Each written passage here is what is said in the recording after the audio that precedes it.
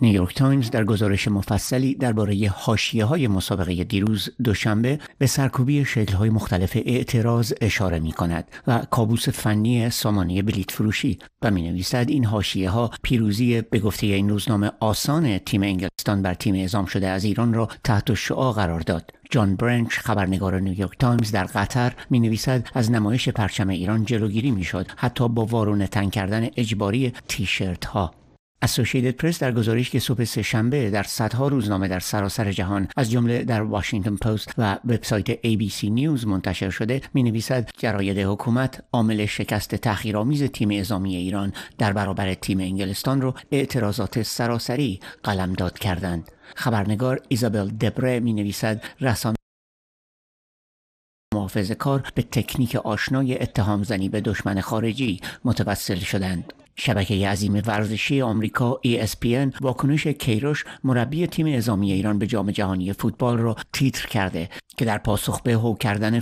های اعزامی توسط تماشاگران ایرانی در استادیوم که گفته است اگر نمی توانید از تیم حمایت کنید در منزل بمانید. اما روزنامه گاردین سکوت تیم هنگام پخش سرود جمهوری اسلامی را طور دیگری گزارش داده. گاردین می نویسد بسیاری از تماشاگرها که پیرهن زن زندگی آزادی بر تن داشتند سکوت تیم را کافی ندانستند. اما در حالی که سرود جمهوری اسلامی در استادیوم خلیفه قطر پخش می‌شد در نگاه فوتبالیست ها خوانده می‌شد که نگران هستند خود آنها و بستگان آنها ممکن است به زودی بهای سنگینی بپردازند. نیویورک تایمز روز سهشنبه یک گزارش تحلیلی منتشر کرده از همراهی خاموش یا پرسر و صدای فوتبالیستا، ستارگان سینما و چهره های برجسته جامعه ایران با اعتراضات سراسری که در آن از جمله به شیوه و بهانه های بازداشت ستارگان سینما، موسیقی و ورزش می‌پردازد. مجله نیوزویک صبح سهشنبه در وبسایت خود فهرست اسامی 21 معترض را منتشر کرد که در معرض اعدام قرار دارند